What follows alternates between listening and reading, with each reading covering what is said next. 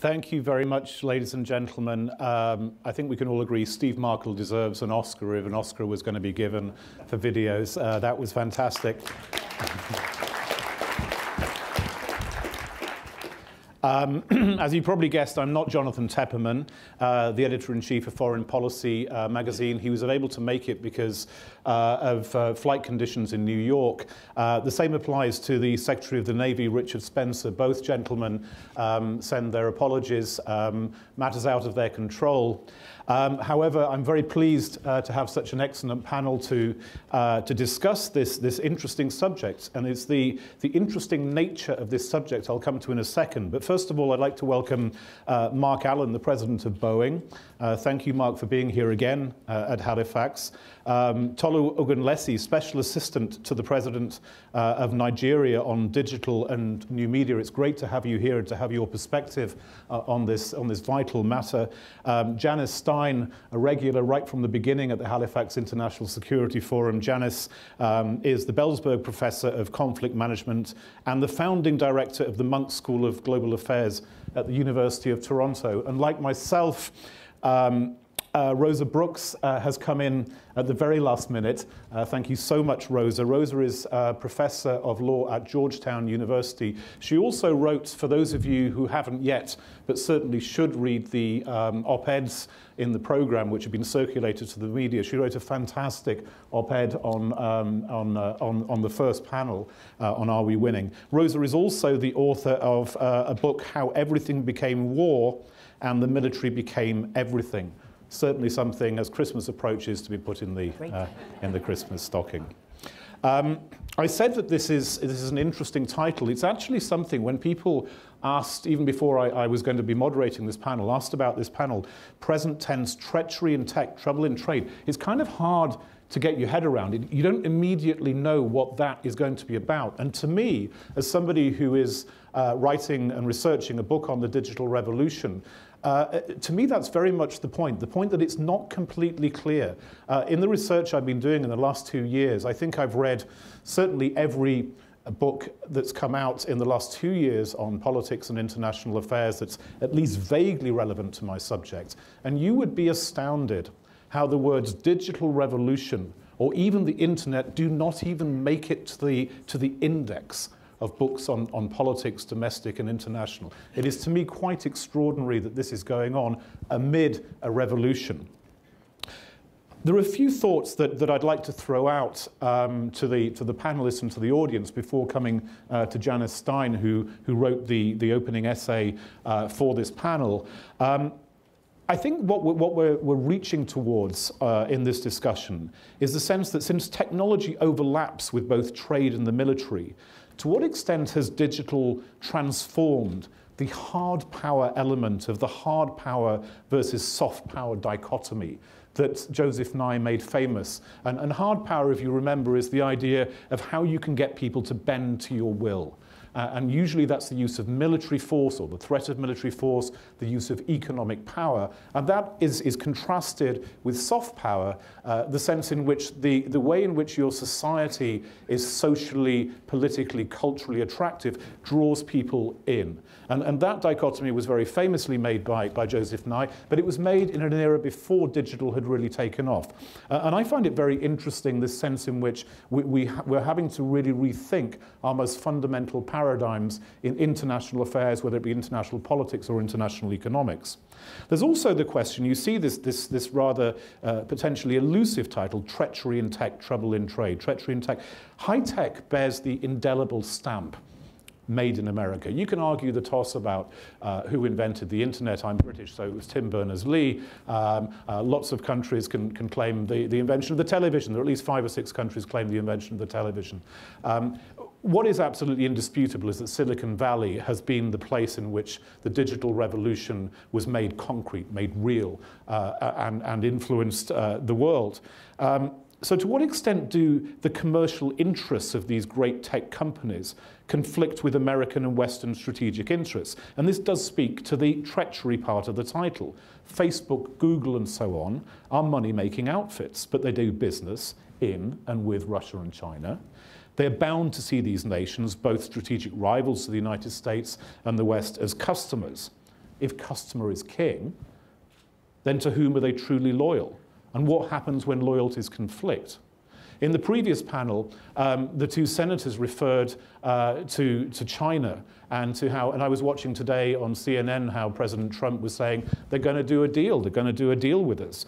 Um, trouble in trade is inevitably a consequence of what I was just talking about because tech is also a business. But President Trump, perhaps more so than any previous president, or certainly any president in, in recent memory, has made uh, I, I, won't say uh, I won't say trade a weapon, but he certainly used American muscle to advance a trade agenda. Now, how far is the United States prepared to take this is a question that relates to the element of the title, Trouble in Trade. What are the dangers? But might President Trump actually pull all this off? You know, it's very easy to criticize the President of the United States for, often for his rhetoric, but he's forged a deal with Canada. It looks like there's probably something coming up with the European Union. Um, China, uh, as, at least if you believe President Trump's words, is ready to come to the table. The terms of trade might potentially actually be, be moved in America's favor. Now, these are the issues to be thrown out. These are not my opinions. These are the issues that I think inevitably arise in such a discussion. And I'd like to start off with Janice, uh, and, and, coming back to that hard power, uh, soft power dichotomy. To what extent has technology become the key point of strategic rivalry in a kind of 21st century great game? You know, I, I don't think there's, and I'm, I'm actually astonished, Robin, that you read books on global politics. I, I, I almost can't believe it that technology is absent and digital technology is absent from those discussions. So if we think about uh, the digital revolution that we've gone through and the artificial intelligence and big data analytics that we are in the early stages, and those are different, uh, they will provide the platforms for both hard and soft power. So those concepts remain relevant, but the, but the platforms on which that power will be launched uh, will be, in fact, all digital. You know, I, when I talk about a car, and we've just concluded a trade deal, uh, I, am trying to find the right word to describe the negotiation, so I won't. Because um, uh, there really isn't one, but that trade deal was fundamentally a backward-looking trade deal. It was about uh, trade in goods and, and services. Uh, not, it didn't really look forward at the kind of economy and the kind of security challenges that we're going to face. Those are all, and, and this is a truism to say with the two of you and with Rosa here, scale, being able to scale big data is the currency of the future. And it's the economic currency of the future, and it's the currency for security of the future. And if we don't think very hard about how those two intersect, we're going to confront some very interesting problems. A friend of mine in Silicon Valley asked me this week, how comfortable would the House and the Senate of the United States be with an autonomous vehicle made entirely in China driving on North American highways? I see by your face. that raises almost all the issues that you put on the, who programs that car, who controls that car, is that car an economic threat? Uh, is the car a security threat? And in fact, um, we could have a very rich discussion arguing that it's both. The second fundamental point is that as we look forward, China will have an enormous advantage in scale which is critically important to big data analytics. Um, it has an enormous advantage in scale because it has unprecedented amounts of data from 1.4 billion people. No American technology company has access to that kind of data. And in fact, given the New York Times story on Facebook, uh, yesterday and today, it's very unlikely that Facebook will be able to operate with as much freedom as it has had in the past. Mm. So you're, you're actually seeing uh, an asymmetrical shift on which big data will be collected. It will be far easier for China to scale that big data. It is already doing so. Um, and we are in a very different world already with profound challenges to national security and to the economy. This bears almost nothing to do with the trade agenda um, that we've just spent 14 agonizing months talking about. Mm. I'm going to come back to the, the, the, point you raised about how the United States can't compete with China simply because China has greater numbers. Oh, I didn't say that. I well, said it's going to be a big challenge. It's going to be a big challenge. yes. Because one of the issues is that if, we, if Western countries actually come together on this, uh, and, and forge a kind of a digital space. We may not be able to reach 1.4 billion, but we can certainly reach a lot more than the United States' population on its own. But hold that thought for a moment. I wanted to bring in um, Marc Allen, president of Boeing. This issue that I, I raised in the, in, the, in, the, in the thoughts that I was throwing out at the beginning of companies which uh, have uh, a loyalty to their shareholders, they must provide value to their shareholders, but also are involved in strategically important industries, such as the industry that Boeing is in. How do you navigate that challenge when you're, you, you know, you have a loyalty to the United States of America, to Western democracy, uh, to the NATO alliance in the sense as a, as a person, as a citizen, and, and perhaps many of your employees in your companies, and yet you have to provide shareholder value. What, what, what are the, the, the difficulties in navigating that when it comes to strategic rivals like China and Russia, but potentially others as well? You know, I think to understand what motivates a, a, a, company, you need to listen very clearly to what the vision and the mission is for the company. So our vision and our mission is simple. It's to connect, protect, explore, and inspire the world through aerospace innovation. And, uh, and that becomes a uniter for us that helps orient us across all of our stakeholders, whether it be shareholders or customers or suppliers or governments. Now, what's different is, of course, the connect leads to protect. The protect piece of our mission is different from a lot of industries. We operate in the domain of, uh, of enabling and assisting in the national security mission. Uh, and so that is that requires a different form, uh, I think, of measured uh, measured responsibility.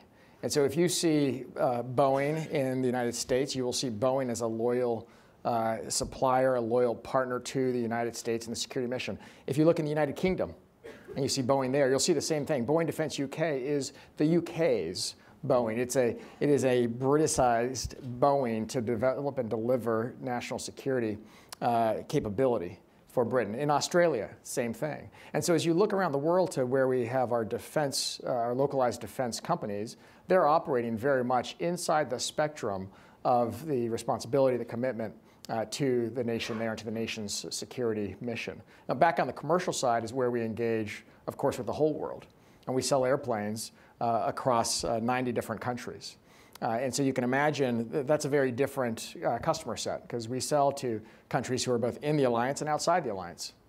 And the alignment there, the commitment there is to global prosperity. We have all together grown and prospered because of the ability to intersect technology with fundamental human needs.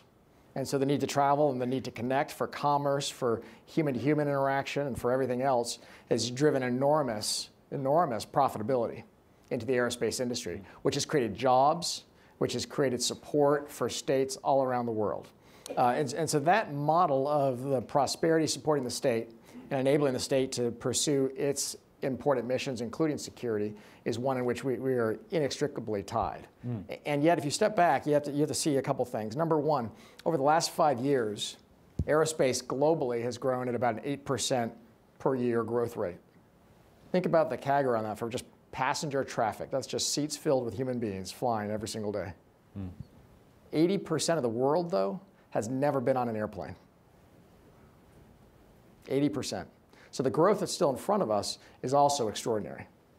But it's also why the business has changed so much over the last several, several decades. Because in 2000, 35% of our business or thereabouts was done outside the US. Today, that number is about 85%.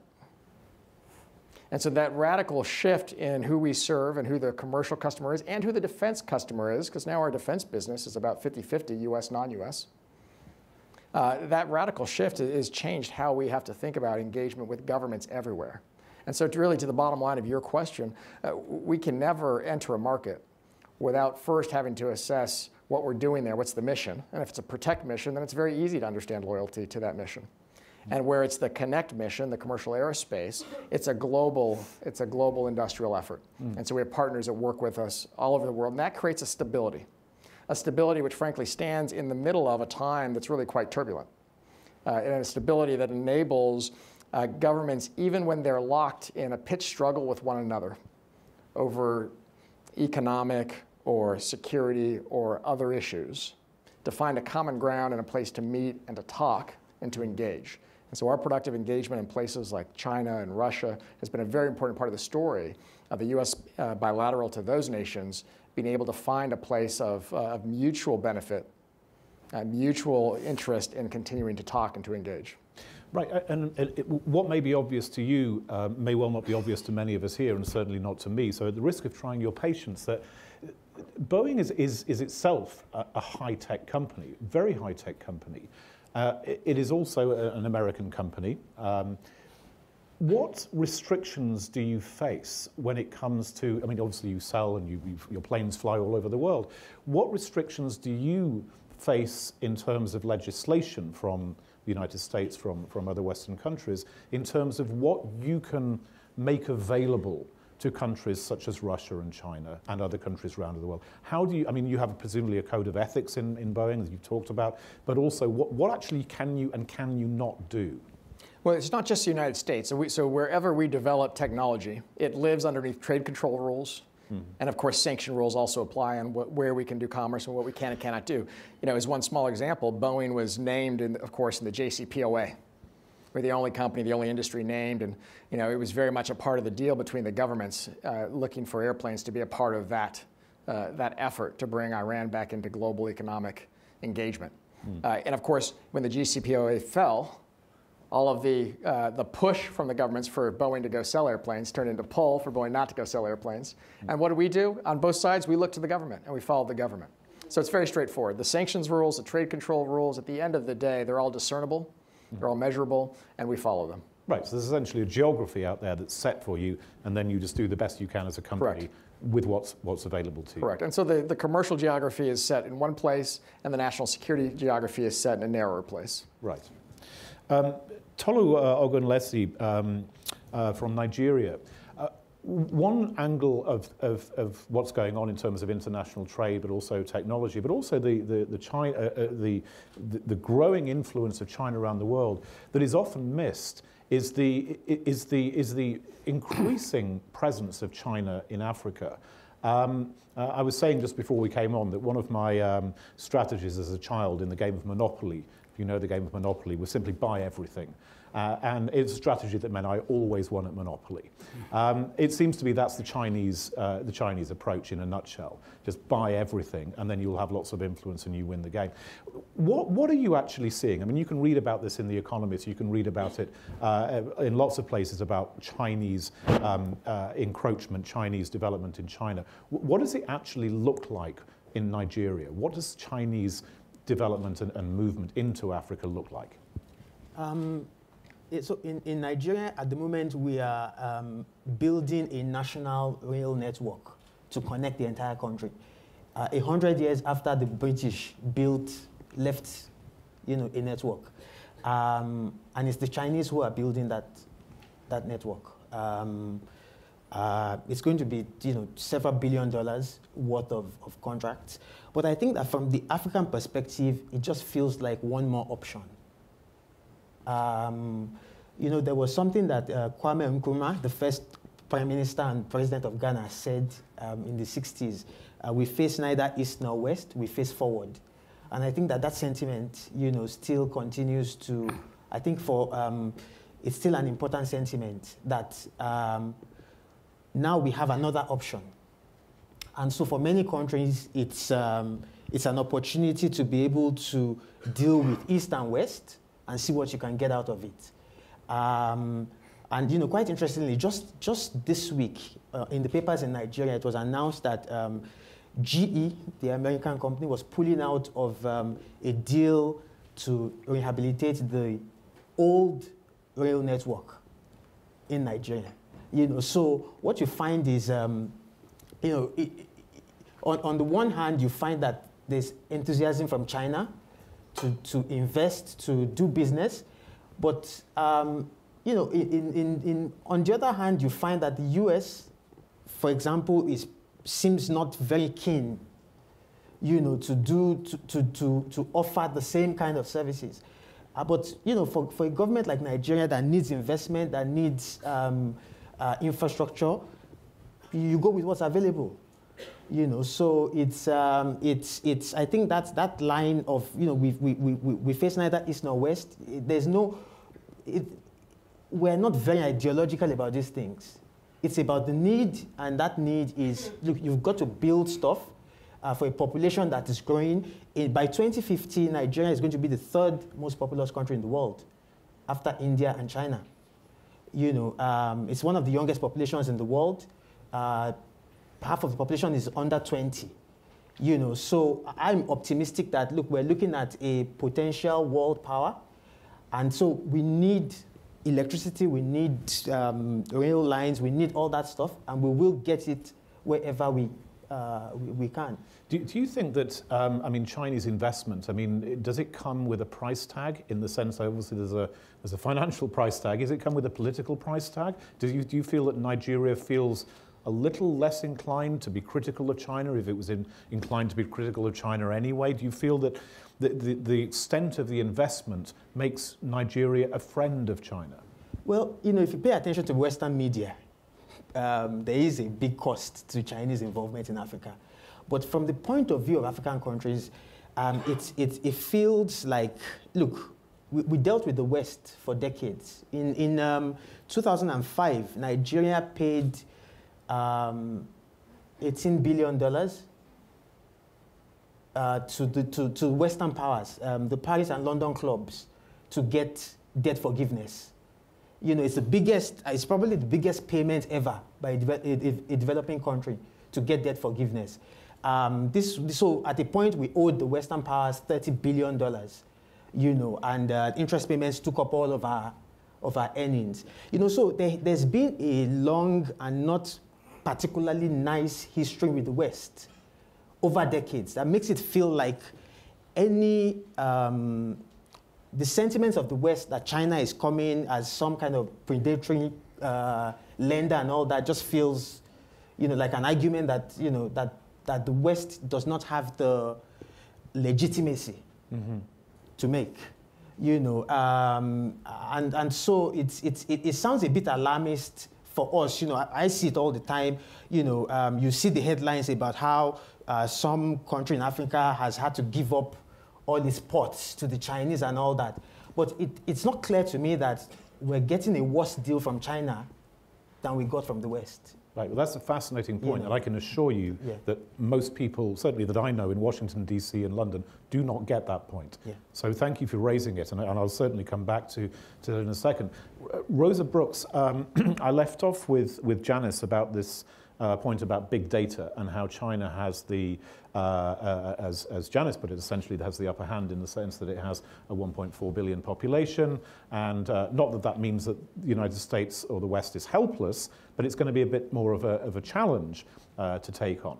Um, uh, how do you see um, the rivalry, the sense of rivalry between the United States and China and the West generally and China in terms of a new great game. Do you think that this is, this is real, or is this just kind of the, the sort of headline mm. that everyone likes to, to put on something to categorize it? Is, is it really a battle, or is it really just a bunch of tech companies who are fighting it out, as commercial companies do?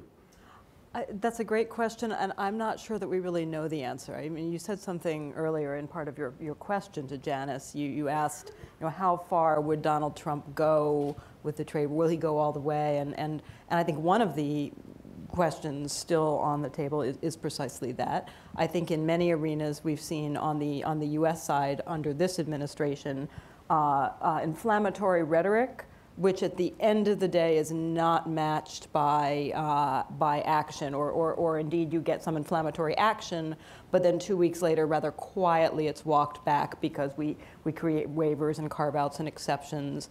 Um, so I think that to the extent that it is possible to say that there has been a trend under President Trump, which is, which is not easy, um, that one of those trends has been that the, the, at the end of the day, the U.S. Uh, escalation and, and uh, inflammatory actions don't end up amounting to as much as it sounds like they will. Um, I certainly think the Chinese are doing their best to keep things from escalating. Um, so, you know, th- there, there's the optimistic scenario here is that there's a lot of posturing right now, uh, and that's, that's natural, and it's not necessarily a bad thing insofar as it fuels healthy competition. Uh, and it pushes both states to be at the top of their game. I think I think Tolu's point uh, is a really powerful one for the West altogether. Obviously, that that when you look at the West's record in, in, in Africa in particular, it's not exactly sterling, but I think you could broaden that out to saying.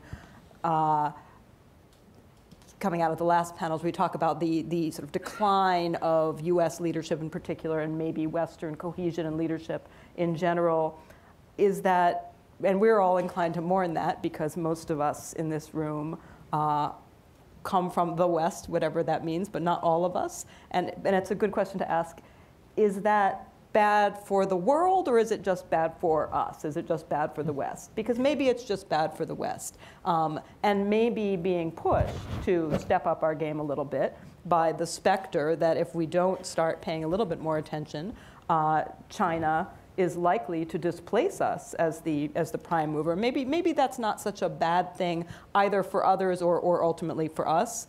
Um, I also I did want to go back really briefly to another question that you asked at the very beginning about uh, hard power, soft power, and uh, um, one of the things that I think is, is most fascinating and that is, is, is, tied up in all these questions in a really fascinating way um, is the degree to which the, the recent um, emergence uh, of what I don't know what to call them well, actually, I'll take a step back, right? When we think about war, everyone knows the famous line from Clausewitz that uh, uh, war is politics by other means. Another way to say that is that war, physical force, violence, that's what you do when you can't figure out any other way to achieve your political objectives. Increasingly, not only states but non state actors have a wide range of other means to achieve their, direct, their objectives, political objectives, short of physical violence violence has more competition.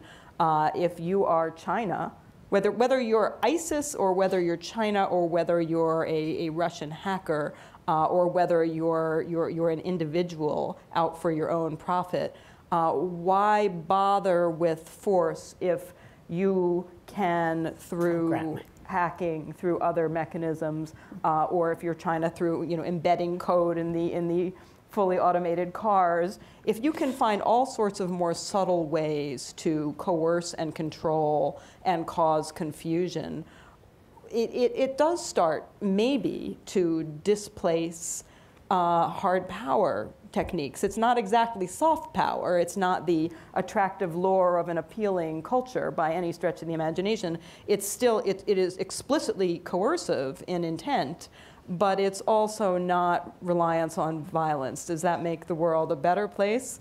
Uh, uh, I don't know. Um, it certainly makes the world a more, a more dangerous place right now, not least, and, and this again goes back to um, what I was saying about Trump and uh, escalatory rhetoric uh, not least because we don't know how to control all of this. None of us know how to control all of it. And we see a lot of actors from China and Russia to the United States itself playing games in that arena where we, you know, you call it gray zone, you call it whatever you want, where, where everyone is sort of making little forays to see where the threshold is at which other great powers will actually respond.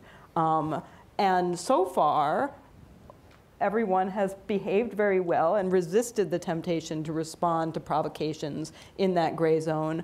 But there's always the possibility, whether it's, whether it's with actual physical force or whether it's in, in other mm. arenas, that we inadvertently end up escalating into a really significant great power conflict. Right, and I think it's, I'll bring Janice in in a second, and it's interesting picking up one of the points you raised about this grey zone, is that well, the grey zone is full of things that we don't yet know are, we don't, we're not yet aware what, what these technologies are capable of. And one of the issues that, that is, is, is uh, I guess, is going to determine whether we do make this bridge from soft to hard power is whether hacking, for example, and this brings in artificial intelligence, you can actually start firing off other people's military systems. Yep. Right. I mean, this is when, you know, you, you don't have to invade a country, but if you can start blowing up Right. uh, their, their missile facilities just by sitting in front of a keyboard, uh, then this transforms. Or just the- confusing them. Yeah, or just confusing them, Yeah. making them think an attack's happening when maybe it isn't. That- Janice. That's, that's actually exactly where uh, I wanted to go. And just to be deliberately provocative, if we think forward 10 or 15 years and we make these breakthroughs in artificial intelligence uh, that many people are talking about, and, and there the United States um, currently has a strong advantage still. I think what's changing for everyone is tech is not neutral. I think we're coming off 15 years where we thought of technology as neutral. And I think we're at the end of this period now, and we understand that it's not neutral. Uh, what do you specifically mean by not being neutral? in the sense that the, the, the edge of the technological revolution where we are, virtually all of it has what we, I would say in older language is dual use technology. From a, a programmed car to a programmed person with artificial hearts and uh, other artificial parts. These are potentially all dual use technologies in the world we're moving into. So for companies like Marc's, these, this last 20 years in, in some ways was the golden era. It was globalization, it was governments pulling back, regulation was pulled back, and certainly you can argue that it contributed to global prosperity. I think we're at the end of that now. Uh, because we have all technology will be, du- will be dual use.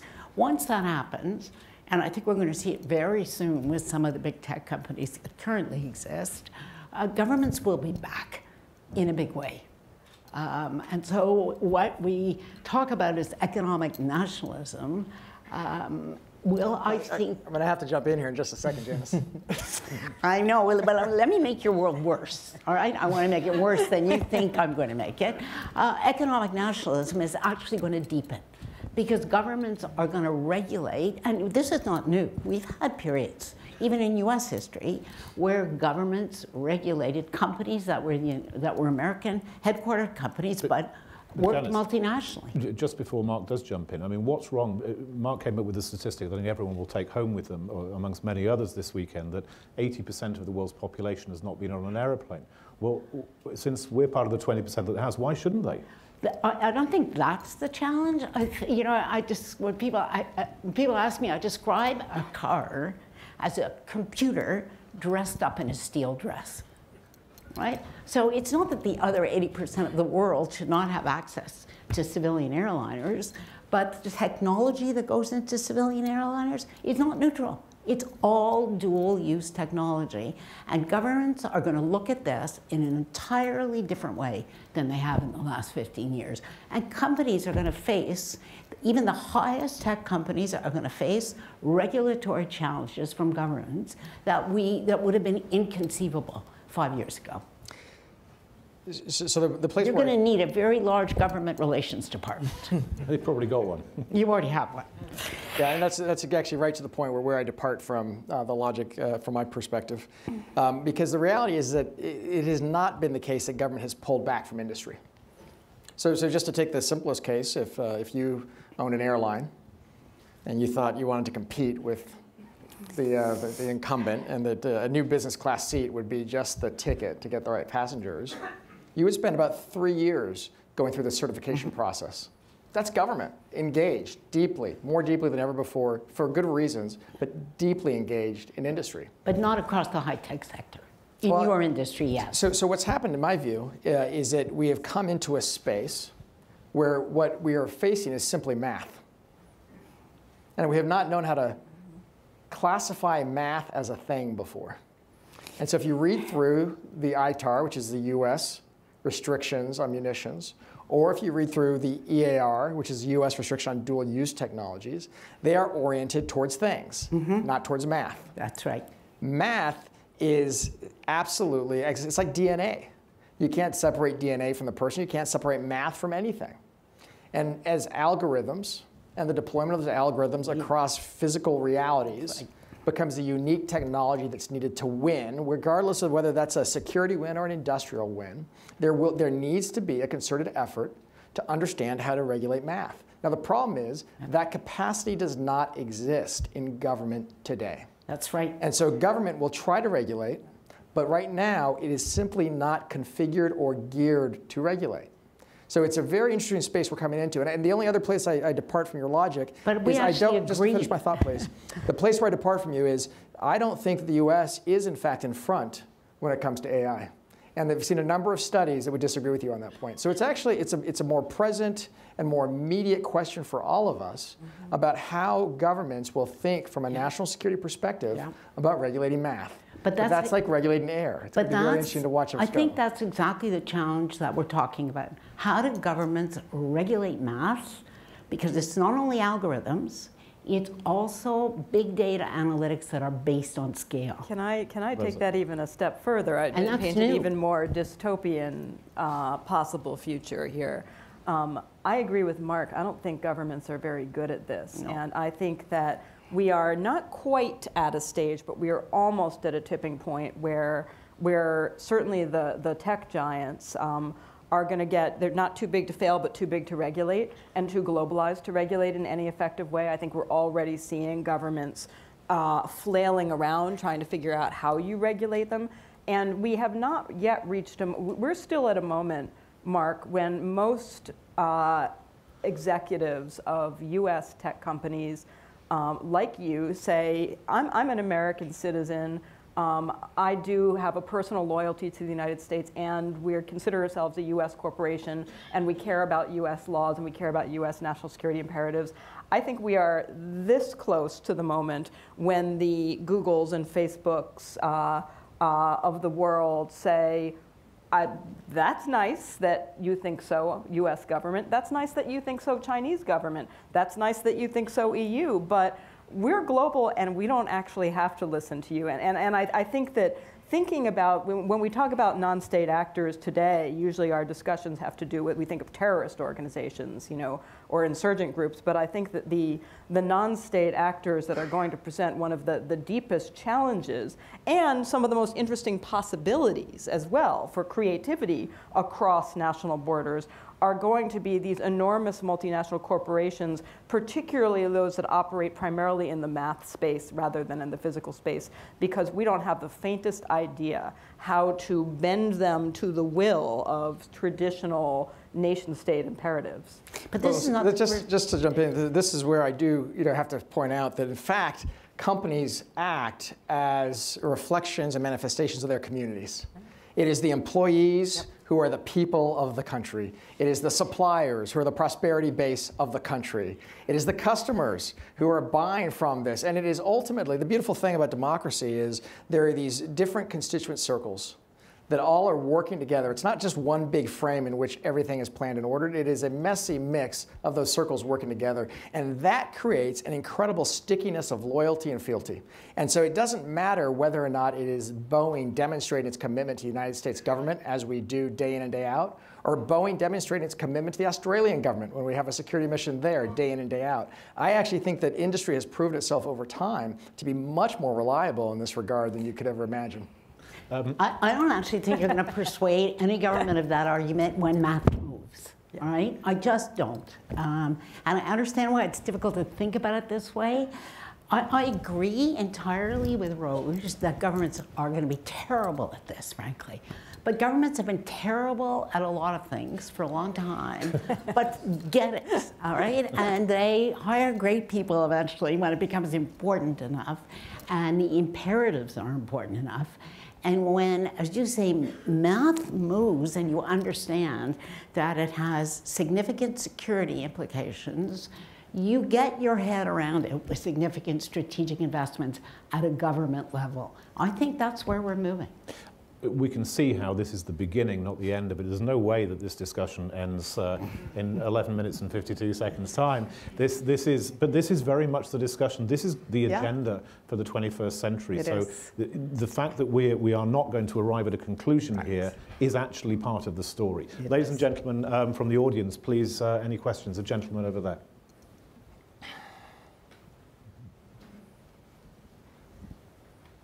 Hello. I am uh, Mauricio Meschoulam from the Mexico Research Center for Peace, and I wanted to bring uh, into the table the Mexican perspective uh, regarding uh, regarding trade and regarding what's been said. And uh, I, I, like very much the use of Clausewitz because we uh, actually felt the the threat of force being used in in the sense of trade, but I, I, I just want to point out that sometimes uh, even the threat of using force has consequences. In, in the case of the USMCA or the former NAFTA, it appears that we saved it, that it was saved last minute. But it could have not been saved. It, it, it could have happened that it was not saved. And uh, and, and the use of these threats do have consequences. Now, so if, if, if you are applying this amount of threats or the use of force in global commerce against uh, the points that have been brought to the table, how, how do you see the possibility that things don't go as right?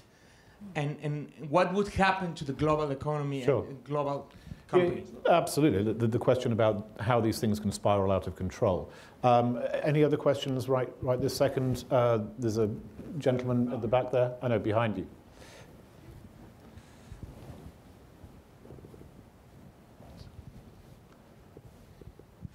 Uh, I, I, want. Uh, sorry, my name is Nick Schifrin. I'm uh, the foreign affairs correspondent for PBS NewsHour, and I wanted to go back to big data and, and ask whether big data necessarily leads to big brother.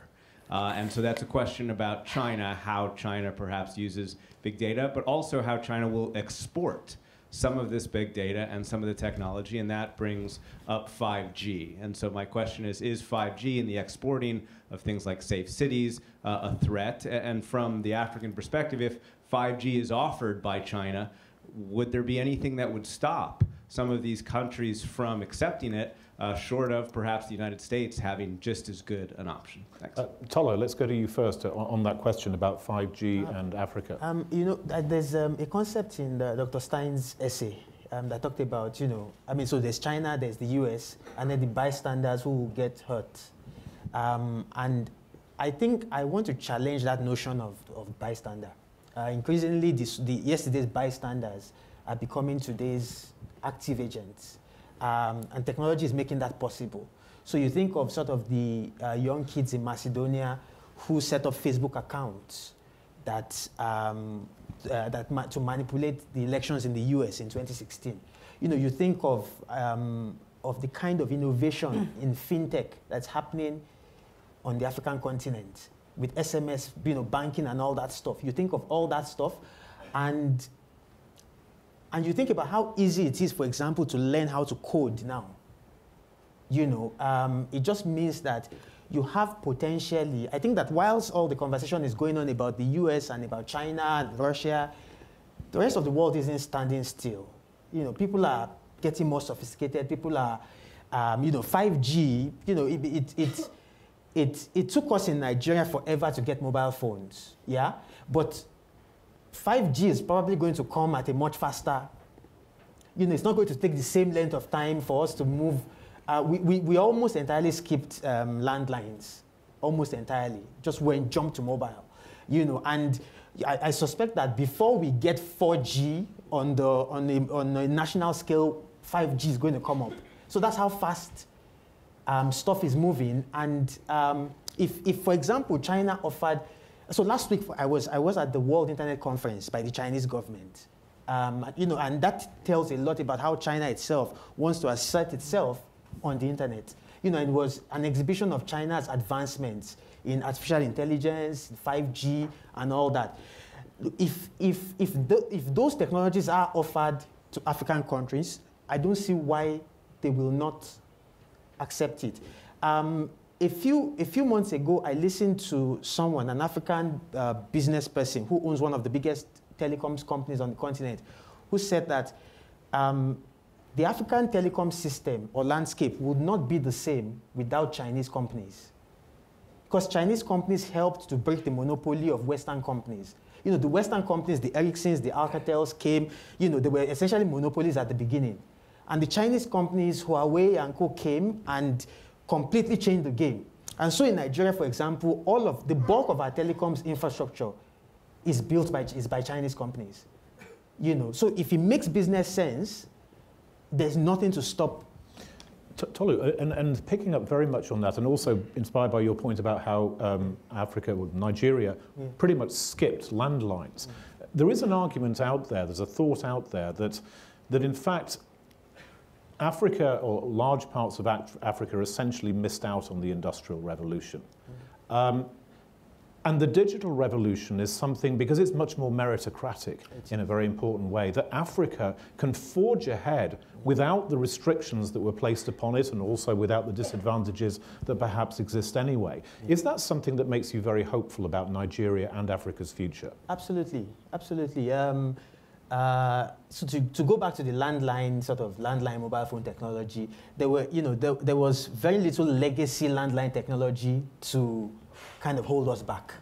You know, essentially mobile phones came and within, um, so at the moment in Nigeria, for example, there are about 160 million active mobile phone lines. Um, of course, most people have multiple lines, you know, because, you know, they're not always reliable, so you've got to. Um, but, and more and more of these people, more and more of these phones are smartphones, more and more people are coming online. Uh, WhatsApp uh, is, is, you know, as like in India, it's the same thing in Nigeria. They're national technologies. People are adopting these things quickly. Um, and while we may not own the technologies, we didn't invent the mobile phone, but we sure invented ways of using the mobile phone that I think the West had no idea about. So if you talk about uh, M-Pesa in Kenya, mm-hmm. um, sending money, you know, via SMS, you know, if you see the ways in which young Nigerians are using uh, WhatsApp, you know, sometimes in quite basic ways, but you can tell that, look, in a few years, there's going to be levels of sophistication that will be uh, amazing. Um, you know, I, and so for me, and again, to use the example of how uh, young teenagers, teenagers in Macedonia sort of had an influence on elections in the US. That's what technology does. It's a leveler, it's an enabler, it gives agency to those, to the guys who, who have been uh, the, the bystanders for a long time. So there's a lot of cause to be hopeful, actually, that um, we've got half of the continent of Africa is young, is below 20. You know, so you have that 600 million young people who are fast picking up technology and who are going to unleash it in ways that the world has never seen before. Thank you. That's an absolutely fascinating um, uh, point, and I think that one of the things, again, that people will take home with them uh, from this discussion. We've only got uh, three and a half minutes left. Uh, I wanted to turn to you, Marc, um, to, the, to the first question. This point about um, uh, trade wars brinkmanship is part of trade wars, but brinkmanship can knock things over the edge as well, can't it? I mean, things can get out of control, things can spiral in a way that uh, people don't sometimes expect. I mean, when you just take your, your president of Boeing hat off and look as an observer of the trading system in the, in the world today, um, are you worried that things are going to go too far, or do you think that actually it's understood by the important powers, the European Union, uh, uh, China, that President Trump's rhetoric is exactly that, and he really isn't going to push things off the end of the cliff? I think to connect the thread from the prior panel to this panel, the prior panel made very clear that there is more multilateralism happening right now with U.S. leadership in the security domain than is being credited broadly. And, and yet, I think in the trade domain, to the question, the reality is that the administration has changed the landscape and said that they are going to focus on bilateralism, which is about transactional uh, negotiation and leverage, and so it can get you toward brinkmanship. And that's a very different space than the security. So trade and security are being handled evidently in very different ways right now. Uh, and this is one of the pieces of this change. We've talked technology, the role of the US on trade, not security, obviously, is a different dimension. The alternative models in places like China and the like is a different dimension. I mean, all of these create the turbulence that the world's reacting to. And, and so to your question of, you know, what are the risks? Of course, there are always risks when you get into a space where those bilateral negotiations are forcing questions and demanding changed uh, orientation of the playing field to create this fair and even trade uh, outcome that the president's after. From our perspective, obviously, the most important point is the one you, you made. So just to close on it, we are constantly stressing the value of the mutual working together across industries, not in the security domain, but in the commercial domain. And I do believe that both governments, both in Beijing at Zhongnanhai and in Washington, D.C. at the White House, are eyes wide open about the shared prosperity that they enjoy because of the places where their commercial interests overlap and that they will work very hard to try to secure those, just as they did very much in the USMCA. And there's no doubt that uh, if you look at the efforts and the lengths gone to by the trade negotiations from all three countries, they, there was no time for sleep. These were dedicated, committed leaders and civil servants who got their way to an outcome. And the same kind of context exists in the China US commercial relationship as well. Thanks very much. Time is very much against us, and with so many military people in the room, I dare not Mm-hmm. go over. Uh, 30 seconds, uh, Janice, and then 30 seconds. So the US, just- the bystanders I were talking about was Canada, all right? And I think that's exactly the position that much of what we've seen over the last few years increasingly drives Canada toward, which is a bystander position with very, very hard choices in front of it. The USMCA was a regional trade, exam, trade agreement that was driven by an imperative to re-regionalize the economy with an explicit attempt, which what we see in that agreement is much less than what was asked for in that agreement, to constrain smaller allies from doing extensive trade agreements with China. We are seeing a redrawing of boundaries. The Chinese are doing it in their social credit system and the way they're managing data on a scale that's unprecedented, and we are seeing a rebordering of the world. And, and Janice makes many of these points in her essay. Um, please read it. Um, Rosa, you have the final word. Uh, thank you, thank you. um, a couple of quick points. One, um, do I worry about risk uh, of escalation um, or unintended consequences? Very much so, uh, particularly at this moment, because I think one of the costs has has has Trump achieved victories for the United States uh, in, when it comes to trade, yes. They're short-term victories. I think they come at the expense of long-term security and relationships for the United States. Part of the reason that I, I think we're in a situation of much greater risk right now is that a lot of damage has been done to, to alliances and partnerships, and just, just the to use an overused term, I think trust has been eroded, and and uh, one of the uh, uh, military experts in this room, I won't, I won't name the person, said from a nation that is very closely partnered with the United States, said recently, we want to help you, but we can't help you because we don't understand what's going on and we're constantly being blindsided. And, and that, that's just a, a small piece of it. But when you, when you have a, an environment in which the risk of escalation exists in the first place, just inherently, and then you take away the, the trust of allies and partners who think, well, all sorts of unpredictable things could happen in the world, but at least I know that these allies will communicate with me and that I can rely on them. When you take that away, that the stakes get higher and higher and every single interaction gets, gets more dangerous.